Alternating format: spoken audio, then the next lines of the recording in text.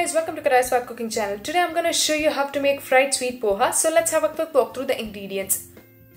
Poha, coconut, cardamom, dry fruits, ghee, raisins, sugar and oil. Firstly, let's take kadai and add oil. Let the oil heat for some time. Now the oil is hot, so let's add poha.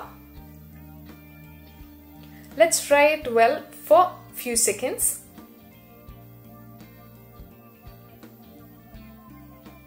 Now it is done, so let's take it out.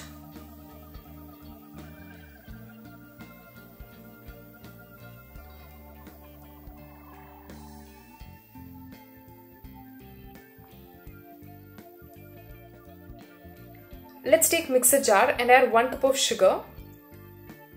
Add 2 cardamom. Let's blend it into powder.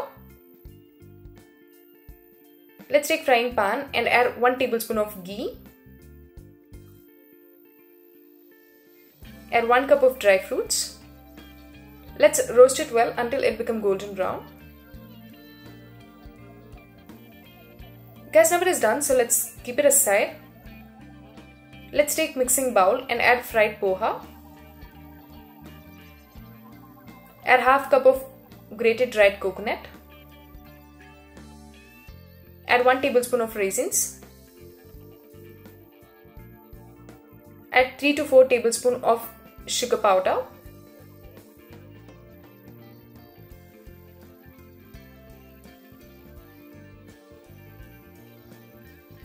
Add roasted dry fruits.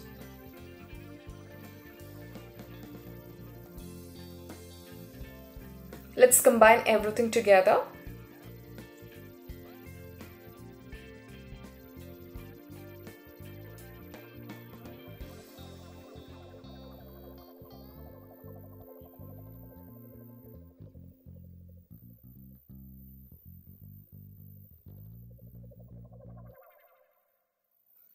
Guys, now the tasty fried sweet poha is ready to serve. Do try it. I'm sure you're gonna like it. Please like, share and subscribe my channel. Thanks for watching.